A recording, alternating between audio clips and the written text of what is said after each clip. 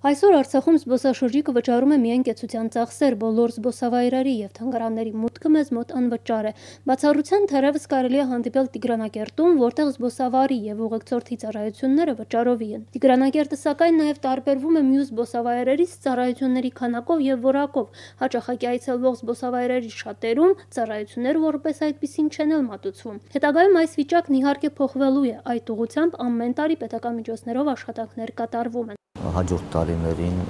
զբոսաշրջավայրերը Ղարաբաղյան ավելի կընդլայնվեն, ավելի հետաքրքրական կդարձվեն, այդ ուղղությամբ կատարվում են բազմաթիվ աշխատանքներ, շատ շուտով կավարտվի տնջերի ծառի շրջակայքի բարեկարգման աշխատանքները, սկսում ենք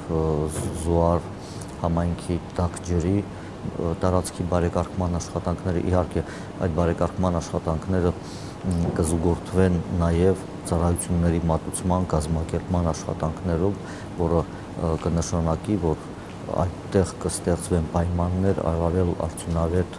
ժամանակ անցկացնելու դիտարժան վայրերում գտնվելու համար։ Արդեն հստակեցվում են նաև գալիք տարվա ծրագրեր, այնպես որ նոր զբոսավայրեր առաջիկա տարիներին մեր քարտեզի վրա անշուշտ հայտնվելու են։ Հիմա նաև քննարկվում է այդ վայրերում ծառայությունների մատուցման եւ մուտքի վճարների հարցը։ Այսինքն մենք պետք է կարողանանք ապահովել այդ զբոսաշրջավայրերի ինքնուրույն զարգացումը եւ պետք է կարողանանք թեթևացնել պետության բեռը այդ